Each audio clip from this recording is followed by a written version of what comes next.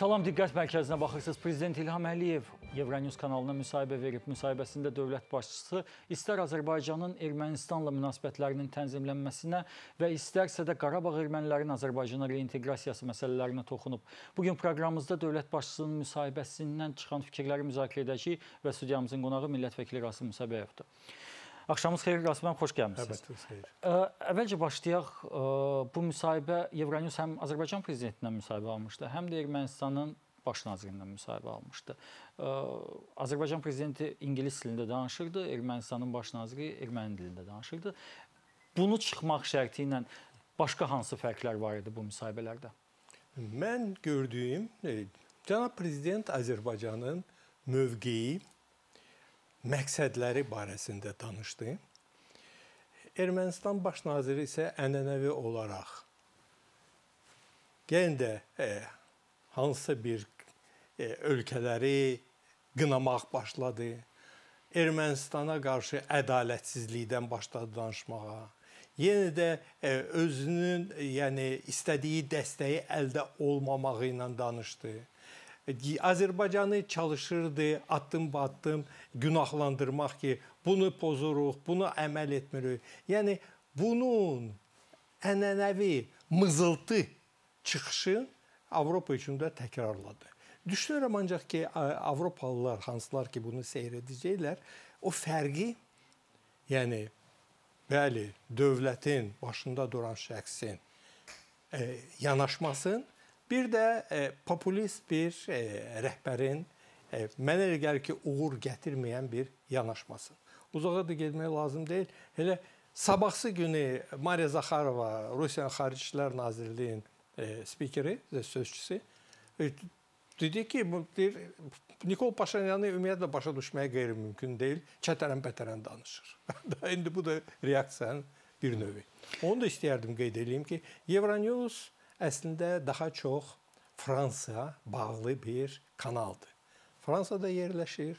E, Fransanın orada ciddi təsir imkanları var. Orada çalışanlar Fransaya bağlıdır və bizim üçün vacib idi bu kanalda Azərbaycanın mövqeyin e, təqdim etmək, Avropalılara, Fransalılara çatdırmaq və düşünürəm ki, cənab prezident bunu uğurla həyata keçirdi. Dövlət başçısının çıxışında belə bir fikir var idi. Sülh sazişi ilə bağlı Azərbaycan nikbindir, Ermənistan konstruktivlik nümayiş etdirsə. Siz necə hesab edirsiniz? Prezidentin səsləndirdiyi fikirlərdən hansı nəticə çıxartdınız? Biz doğrudanmı sülhə yaxınıq, yoxsa reallıqda biz hazırda biz Azərbaycanla Ermənistan arası sülhdən kifayət böyük məsafə ayırır? Yox, əslində sülh sazişi hazırdır. Orada bir neçə Ermənistanın iddiaları o sazişi e, imzalamaq üçün, paraflanmaq üçün məhdudiyyətlər yaradır. İndi o, e, o cənab prezident ona deyir ki, konstruktivlik, ona görə ki, o iddialar maneə yaradır. İndi orada e, sərhədlə bağlı iddia var. Orada indi hansısa bir xəritəni gətirmək istəyir. Orada e, e, Qarabağ ermənilərlə hansısa bir beynəlxalq danışıq platformasının yaradılması, hansılar ki, təkrar edirəm, e, Azərbaycan Ermənistan arasında sülh məsələsini yaxınlaşdırmır, əksinə olaraq uzaqlaşdırır. Ona görə yəni e, cənab prezidentin sözündən belə çıxır ki, bu Ermənistanı ağla gətir söz ki, o yersiz iddialarından əl çəksin. Biz ilin axırına kimi bu sülh sazişini imzalaya bilərik. Mənə elə gəlir ki, indi hiss olunur ki, belə bir e, plan var ki, e, payızda e, Granadada, İspaniyada yenə də o Avropanın siyasi bir yığıncağı olmalıdır. Orada bu məsələni lap imzalamaq istəyi var.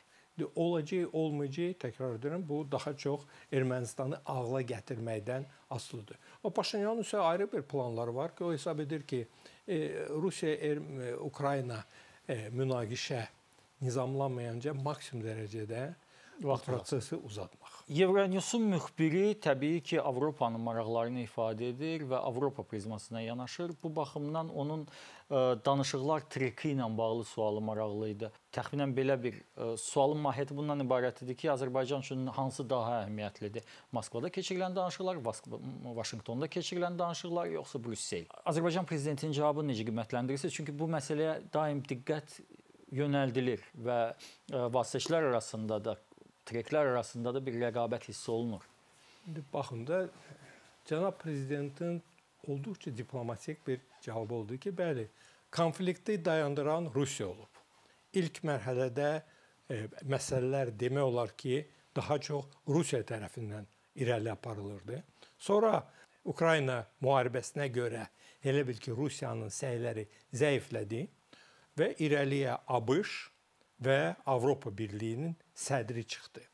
Yəni cənab prezidentin sözündən belə çıxdı ki, danışıqları Xaricilər Nazirləri aparır. Sadəcə olaraq birinci şəxslər görüşürlər Şarm-el-Şeyxin təşəbbüsü ilə və elə bil ki, bu danışıqlar üçün e, çətin məsələləri çalışırlar aradan götürməyə.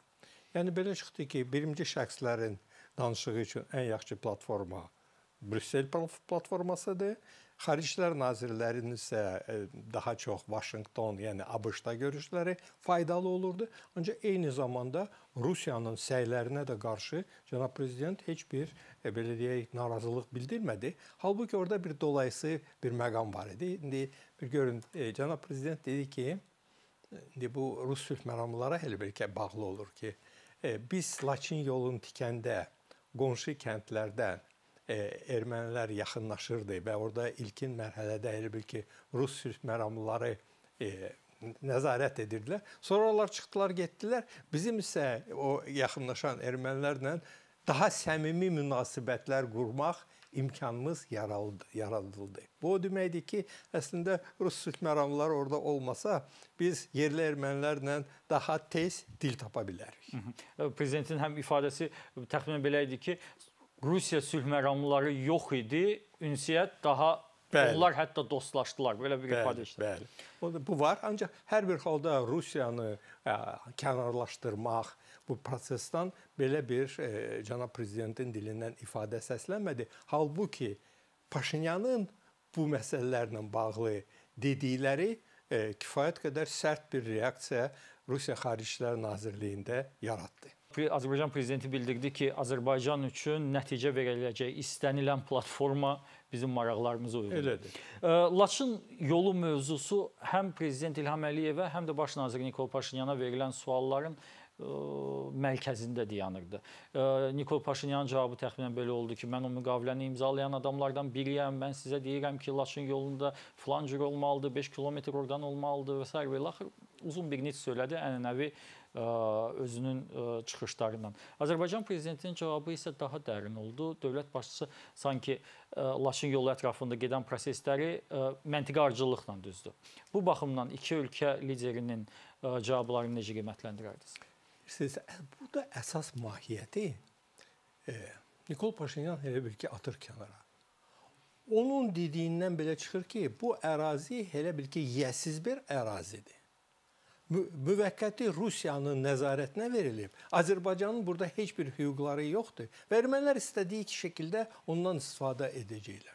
Azərbaycan prezidentinin isə cavabından bu Azərbaycanın suveren ərazisidir və heç kəs, heç bir dövlət, heç bir beynəlxalq təşkilat Azərbaycanın öz ərazisində suveren hüquqların məhdudlaşdıra bilməz. Bunun sözü budur. Ayrı məsələ ki, indi humanitar hüquq var, orada indi insanların, yəni gediş-gəlişin e, sərbəst etmək lazımdır. Təbii nəzarət həyata keçirməklə. Yəni orada ola bilsin ki, indi o həmin o humanitar daşınmalar da mümkündür. Ancaq onun icazəsini də Azərbaycan verəcək.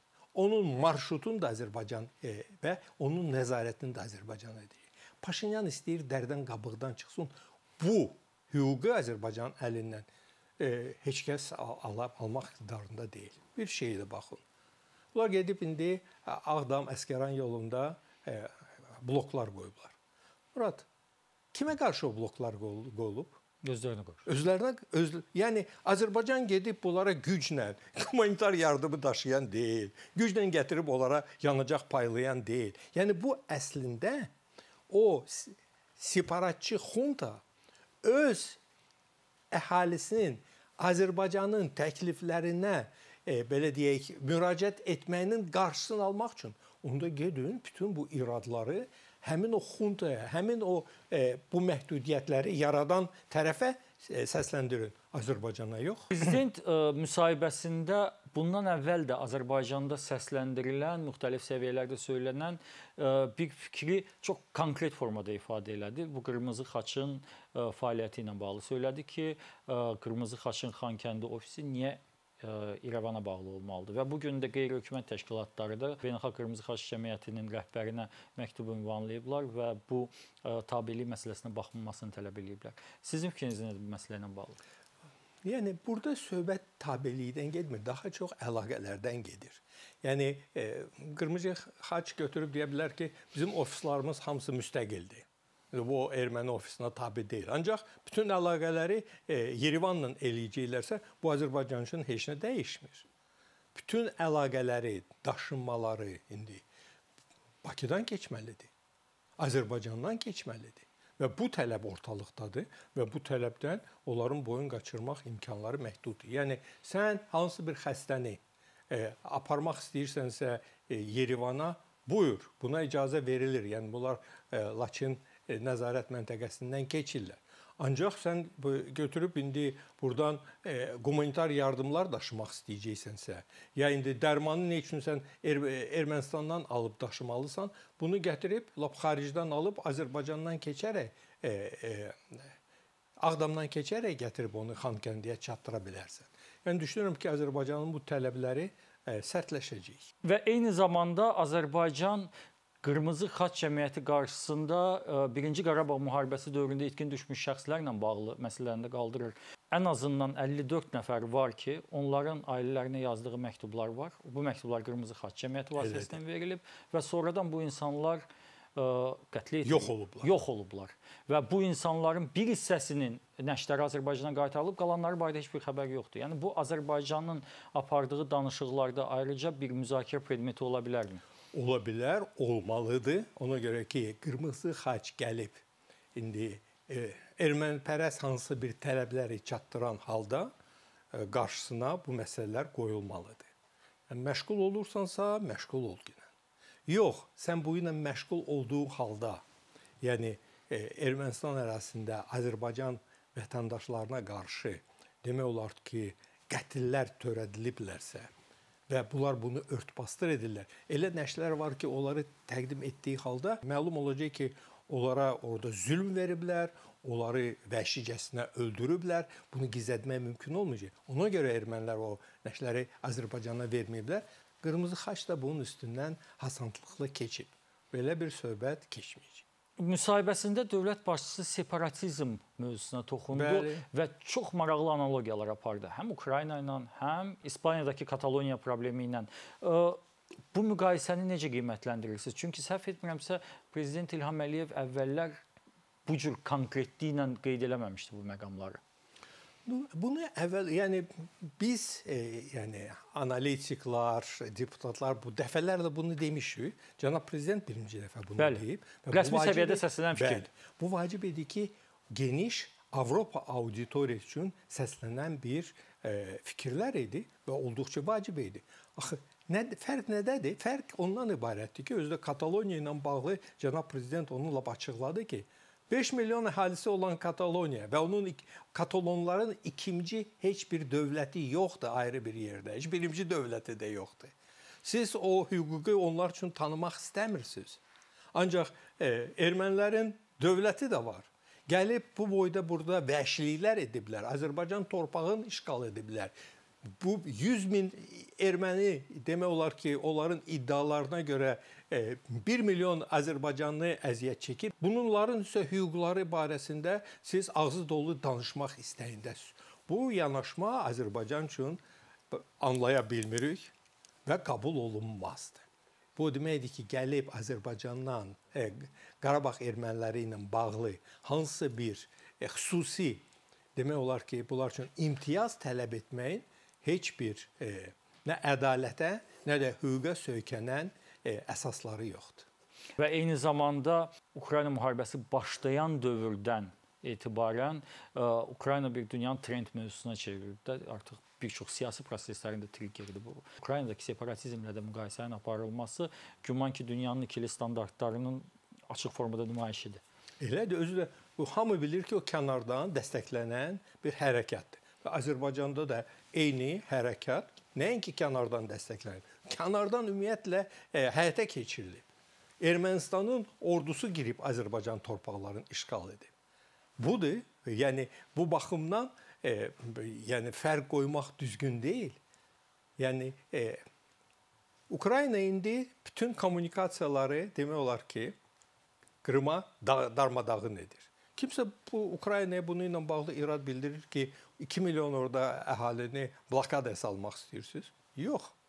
Halbuki Azərbaycan yolu da açır. Bu vaxta kimi indi son bunların demək olar ki, yaramaz fəaliyyətinə ki, mina daşıdılar, sonra e, hansı bir e, hələm aşkar olunmamış e, ola bilsin ki, hərbi e, məqsəd üçün ayrı daşınmalar olub.